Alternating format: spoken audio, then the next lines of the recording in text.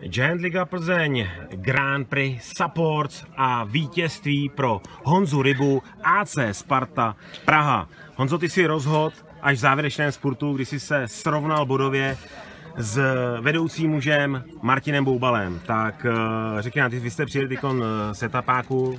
Byli ano, přijeli jsme z etapáku v pondělí ráno, byli jsme v Bosně, tady jsme měli čtyřetapový závod, převážně po rovině, se rozhodoval ve spurtech, takže to byly etapy pro mě a vybojoval jsem na šestý místo v poslední etapě.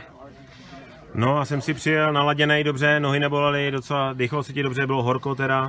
Bylo to dneska hrozně těžký, kluci mi pomohli a dopadlo to tak, jak to dopadlo, vítězně. Kam se chystáš? Teďka se chystám o víkendu na sobotku na Vyšegradskou čtyřku. A v Milovicích budete? Budeme v Milovicích. Dobře, tam budu dvojnásobný body. Díky za rozhovor a ať se Spartě daří. Ahoj.